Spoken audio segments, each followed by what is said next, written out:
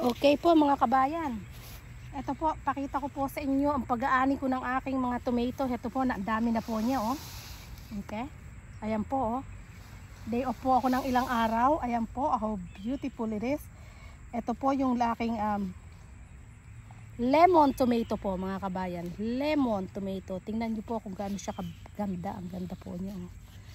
Ang lusog-lusog po niya. Ayan po siya oh.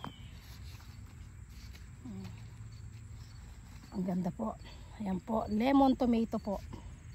Look at this. How beautiful it is.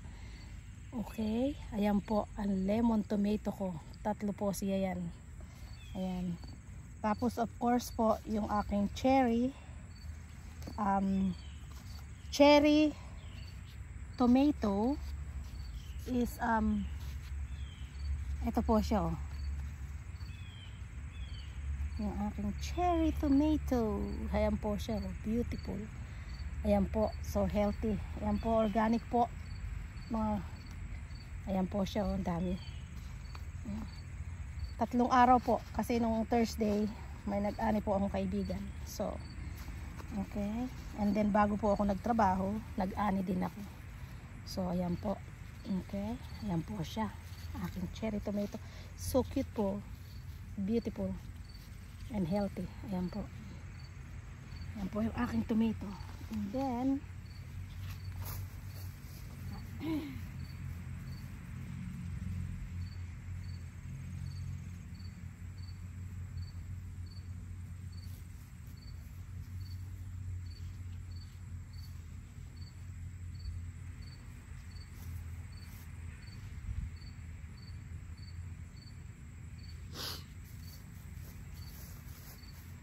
okay.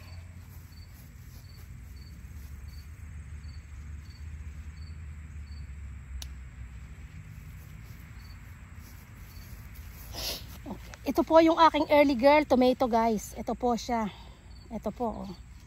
Ayan po. Early girl tomato po to. Ayan. Ayan po siya. oh. Ayan. Napaka beautiful po niya. Early girl tomato. Okay. Ayan po siya. Ah, madadaganan yung aking cherry. Ang ganda-ganda po niya. Ito po yung Playboy. Ayan po yung Playboy tomato. Ito po yung Playboy. Sasama-samahin ko po siya na makikita nyo po. Magkakaiba po talaga siya. Makikita nyo po yung difference. Okay?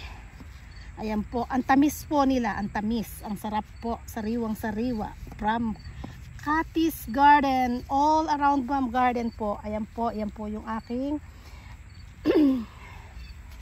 Tapos ito po yung Playboy. Ayan po, yung Playboy tomato ko. Ayan, Playboy tomato. Yung pong isa early girl tomato and then yung Playboy tomato. Ito po yung Playboy tomato ko. Ayan oh. Tingnan niyo po kung gaano siya kaganda. Oh my god. How healthy it is. Here you go po. Ang laki po niya oh. Laki. So healthy healthy po. Yun po yung Playboy. Playboy tomato. Ayan po siya. Ayan. Magkakaiba po. Variety po ng tomato ko yan. Ayan po. Tapos, ah, mayroong ba akong Rutgers tomato hinog? Yung Rutgers tomato ko po nandito pero hindi pa hinog. So, of course, ito po yung ano. Ito po yung cherry tomato na regular. Ito po siya. Oh. Ito po yung mga cherry tomato ko. Ang dami po nito. Ang dami po. I think today, pag-harvest ko po, makaka baka 100 pounds na po ang harvest ko since nag-start ako mag-harvest ng aking mga plant. At that is a community vegetable po. Mga halaman ko is pinamimigay ko po dahil napakadami po para sa akin ito. So but I think ngayon po hopefully may time kaming pumunta ng Jersey City para maghatid ng aking mga gulay po sa aking mga in-laws. Okay So, hopefully po, ang dami po. Sobrang dami. Nakakatuwa po at marami po akong napapakain ng gulay kong mga kaibigan ko. Kaya lang po, hindi talaga mag yun po kasi weather namin dito eh, ilang buwan lang. Sana po kung mata kung makaka pagtanim ako ng mas matagal, marami po makikinabang ng aking mga halaman.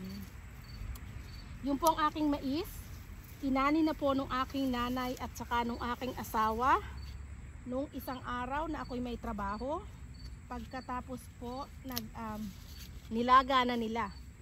So, habang ako po ay nag-aani, kwento-kwentuhan lang po tayo. And, ito po, nag enjoy akong mag-harvest ng aking mga tomato. Sabihin ko po sa inyo, napakadami po. Napakadami. Ayan po, pinapawisan na ako. Hindi pala ako nagdidilig, pawis-pawisan na ako. Pero, uulitin ko po sa inyo, ang saya ko po at marami po akong halaman. Nawala po yung ano, nung pong nag-grow pa lang yung mga tomato ko, yung mga halaman ko. I'm trying my best na ilagay sila ng naka-direction po ng isang, you know, para pag-harvest ko mas mabilis mag-harvest pag isang direction lang sila. Pero sa dami po ng ibinunga nila, wala po, bagsak po yung lahat ng aking ba, um, what you this? Yung mga treeless ko po, kasama nung aking mga halaman na bumagsak sa lakas ng storm last week. So, next year, my plant is gonna be strong trellis, okay? Kasi lahat po ng ano ko, lahat ng trellis ko nagliparan po yung mga ano. Hindi ko po sila tinali ng husto. So, akala ko it's not gonna hindi ko po ini sinuportahan ng husto. But, um, lesson ko po yun sa next year, I wanna make sure na tatalian ko talaga sila. Okay po.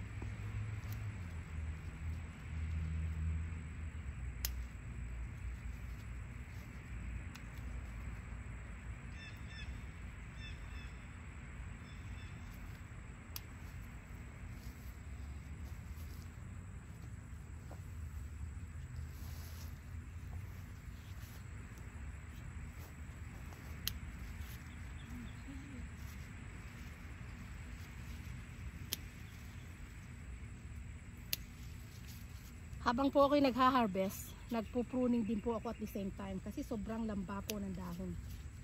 So, pruning at the same time po habang ako'y nagha-harvest.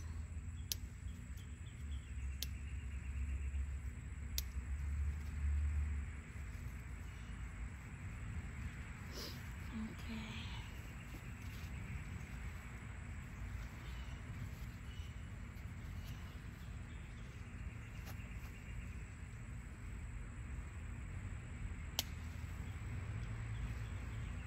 Yan po. Sa cherry tomato pa lang po. Wala na akong lagayan halos.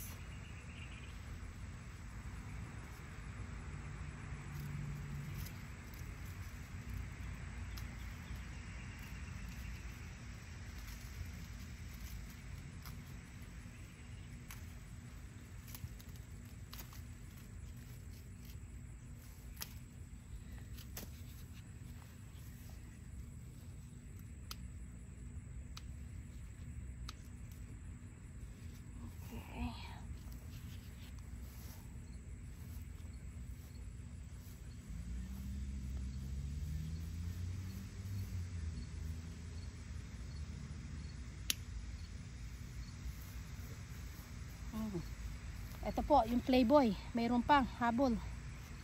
Playboy tomato.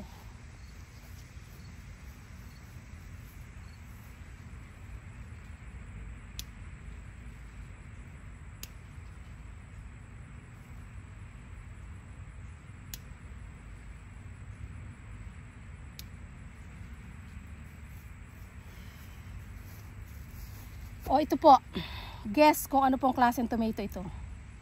Okay? Ito po ang aming main tomato. Okay? So guess po kung anong klase ito. Okay? Apat lang po siyang nakuha ko pero marami hindi ko maabot yung iba. Okay? Apat na klase po. Apat na piraso. At,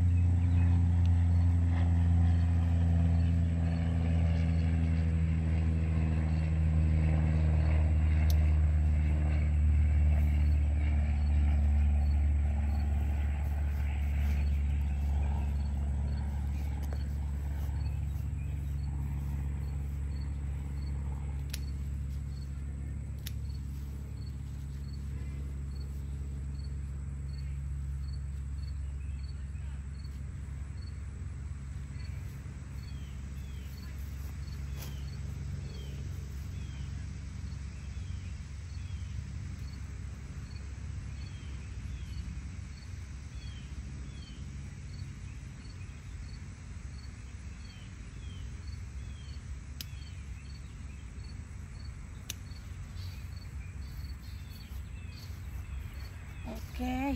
Ayan pa po, kasama po nung apat kanina. So,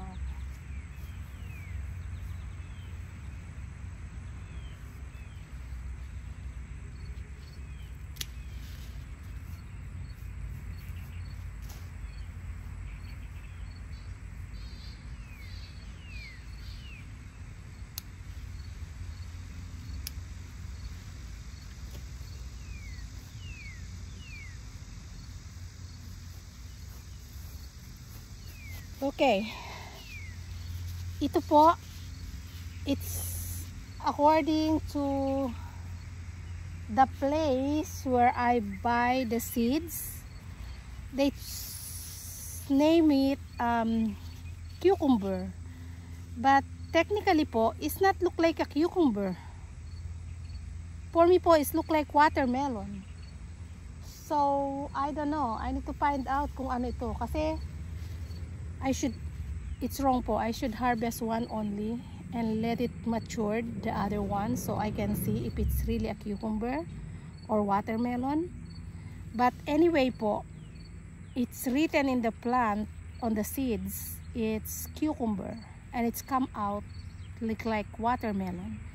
I have watermelon po on the other side of my garden and definitely is not look like this okay? So I don't know kung paano po ito. Ayan po, para siyang water, para po siya talagang ano. Para po siyang melon. Okay? But they said it's cucumber, so I'll find out kung anong lasa mamaya. So, otherwise, I'll, ba I'll be back on the farm and find out what is really kind of plant is that. Okay. Hey hindi ko na po mabubuhat halos ang aking halaman. Sa dami sa tomato pa lang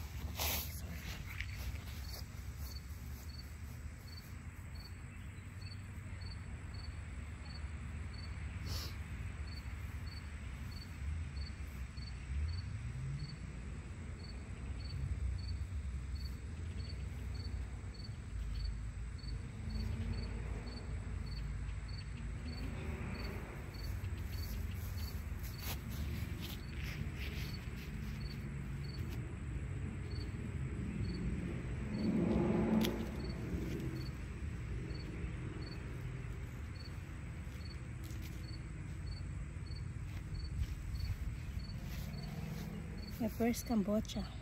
Okay. Kalabasa po. Namatay po yung puno ng kalabasa ko. Hopefully this is hopefully this is matured already. Okay mga kabayan? So paano po? I'll see you again mga kabayan. Ayan po yung harvest ko ngayon. Hindi pa po ito complete. Okay? Um, pupunta pa po ako doon sa aking mga upo and I'll find out kung ano pa maha-harvest ko. Tsaka yung mga eggplant I think it's time to harvest also. So, I'll see you po mga kabayan. Uh, ayan po ang aking hinarbesan. Okay? So, see you po later. If you want po, please share, comment, and uh, follow me po all the time, okay? Follow me more, guys. Thank you so very much. I really appreciate. God bless us all. Thank you. Bye-bye.